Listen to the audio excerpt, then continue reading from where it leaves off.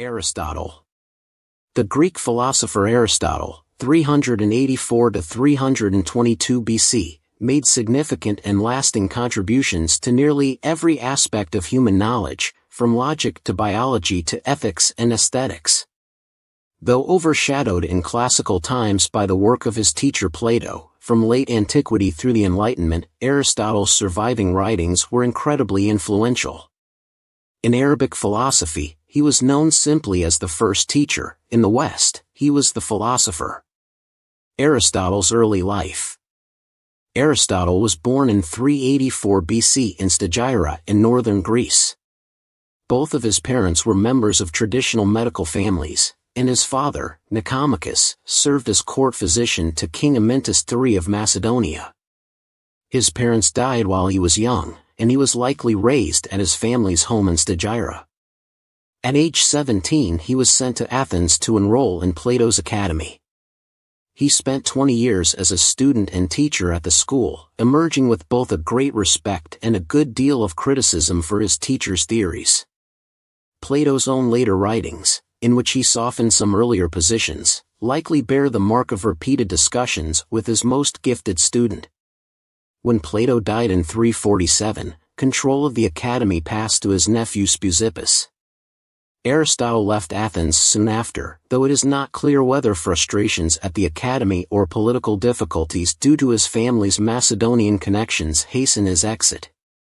He spent five years on the coast of Asia Minor as a guest of former students at Assos and Lesbos.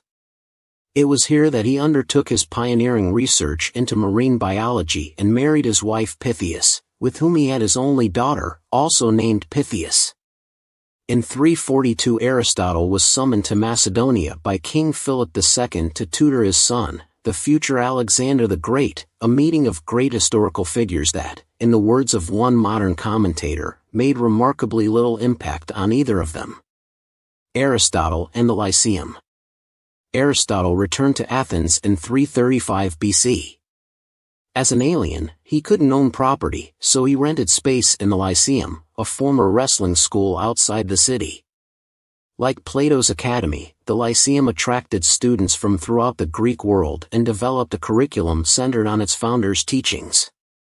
In accordance with Aristotle's principle of surveying the writings of others as part of the philosophical process, the Lyceum assembled a collection of manuscripts that comprised one of the world's first great libraries. Aristotle's works.